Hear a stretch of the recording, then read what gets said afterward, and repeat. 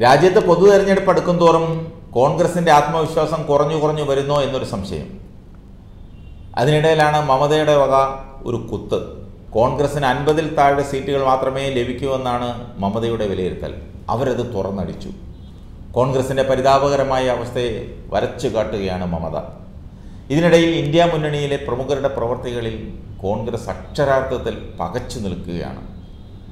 അൻപത് സീറ്റ് കിട്ടുമെന്ന് കരുതിയാൽ തന്നെ അതിൽ എല്ലാവരും കരുതുന്നത് പതിനാറ് സീറ്റും കേരളത്തിൽ നിന്ന് ലഭിക്കുമെന്നാണ്.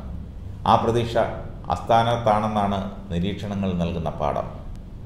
രണ്ടായിരത്തി പത്തൊമ്പതിലെ തെരഞ്ഞെടുപ്പിൽ രാഹുൽ ഗാന്ധിയുടെ വരവും അദ്ദേഹം പ്രധാനമന്ത്രിയാകുമെന്ന പ്രതീക്ഷയും കേരളത്തിലെ ജനങ്ങളെ കോൺഗ്രസ്സിന് വോട്ട് ചെയ്യാൻ പ്രേരിപ്പിച്ചു.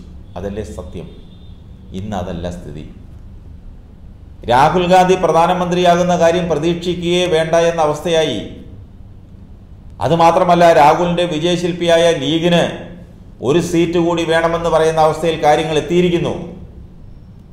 തങ്ങൾക്ക് സീറ്റ് നിഷേധിച്ചാൽ രാഹുൽ മോന്റെ കാര്യം പരിങ്ങലിലാണെന്ന് പറയാതെ പറഞ്ഞു വെക്കുകയാണ് ലീഗ്. നാട്ടിൽ നിൽക്കക്കള്ളി ഇല്ലാത്തത് കൊണ്ടാണ് രാഹുൽ മോൻ കേരളത്തിലെ മണ്ണിൽ അഭയം പ്രാപിച്ചത്. രണ്ടാം തവണ മത്സരത്തിന് ഇറങ്ങുമ്പോൾ കഴിഞ്ഞ തവണത്തെ ഭൂരിപക്ഷം ലഭിക്കുമെന്ന് പറയാനും സാധിക്കുകയില്ല. ഇന്നത്തെ നിലയിൽ ഭൂരിപക്ഷം രണ്ട് ലക്ഷത്തിൽ താഴെയായിരിക്കുമെന്നാണ് രാഷ്ട്രീയ നിരീക്ഷകർ കണക്കൂട്ടുന്നത്. അതിനാൽ മണ്ഡലം മാറി പരീക്ഷിക്കാനുള്ള നീക്കത്തിലാണ് കോൺഗ്രസും രാഹുൽ ഗാന്ധിയും രാഹുൽ ഗാന്ധിയെ ഇത്തവണ തൃശ്ശൂരിൽ മത്സരിപ്പിക്കാനുള്ള നീക്കമാണ് കോൺഗ്രസ് നടത്തുന്നത്. അപ്പോൾ രാഹുലിനും മുസ്ലിം തട്ടകത്തിൽ മത്സരിക്കുന്നുവെന്ന ചീത്ത പേര് മാറ്റിയെടുക്കുകയും ചെയ്യാം. അതിന്റെ മുന്നോടിയായി തൃശൂർ രൂപതയിലെ കത്തോലിക്ക സഭയുമായി പലവട്ടം ചർച്ച നടത്തി കഴിഞ്ഞുവെന്നാണ് ലഭിക്കുന്ന വിവരം. അതിന്റെ ഫലമായിരുന്നു തൃശൂർ അതിരൂപതയുടെ മുഖപത്രത്തിൽ ബി ജെ പിക്കെതിരെയുള്ള തുടർച്ചയായ ആക്രമണം. മല്ലികാർജുൻ ഖാർഗെയുടെ കഴിഞ്ഞ ദിവസത്തെ തെരഞ്ഞെടുപ്പ് പ്രചാരണത്തിന്റെ ആരംഭവും തൃശൂരിൽ നിന്നായത് ഇതിന്റെ മുന്നോടിയാണെന്നാണ് വിലയിരുത്തുന്നത്. ഇന്നത്തെ നിലയിൽ പ്രതാപൻ മാർക്സിസ്റ്റ് പാർട്ടിയുടെ ക്രോസ് വോട്ടിൽ മാത്രം വിശ്വസിച്ചാണ് കളത്തിൽ നിൽക്കുന്നത്. ഓടിപ്പോകാൻ പലവട്ടം ശ്രമിച്ചുവെങ്കിലും ആ പാവത്തിനെ നാലു കാലും തൂക്കി അറവ് മൃഗത്തെ കൊണ്ടുപോകുന്നത് പോലെ തൃശ്ശൂരിന്റെ മണ്ണിൽ പ്രതാപനെ എടുത്തിട്ടിരിക്കുകയാണ് സുരേഷ് ഗോപി രക്ഷപ്പെടാതിരിക്കാൻ മാർക്സിസ്റ്റ് പാർട്ടി നൽകുന്ന ഭിക്ഷ ഏറ്റുവാങ്ങാമെന്ന പ്രതീക്ഷയാണ് കോൺഗ്രസിനും ഇപ്പോഴുള്ളത്. ഒടുവിൽ പ്രതാപനെ ഒഴിവാക്കി രാഹുൽ കളം പിടിക്കും. ഭൂരിപക്ഷം ഇവിടെ എത്ര കുറഞ്ഞാലും അത് പ്രശ്നമാകില്ല. എന്നാൽ തൃശൂർ മണ്ഡലത്തിലെ നല്ലൊരു പങ്ക് കത്തോലിക്കർ ഈ നീക്കത്തിനെതിരാണ്.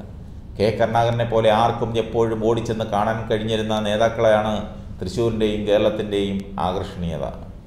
കാര്യം നടന്നാലും ഇല്ലെങ്കിലും കേരളത്തിൽ ഇന്ന് വയനാട്ടിൽ ഒഴിച്ച് ഏത് മണ്ഡലത്തിലും തിരഞ്ഞെടുക്കപ്പെട്ട നേതാക്കളെ കാണാൻ ജനപ്രതിനിധിയെ കാണാൻ കണിയാനെ കൊണ്ട് സമയം കുറിപ്പിച്ച് നിൽക്കേണ്ട കാര്യമില്ല.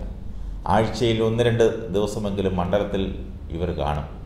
രാഹുലിന്റെ അവസ്ഥ അതല്ല. വയനാട്ടിലുള്ളവർക്ക് രാഹുലിനെ കാണണമെങ്കിൽ നല്ല നേരം നോക്കണം.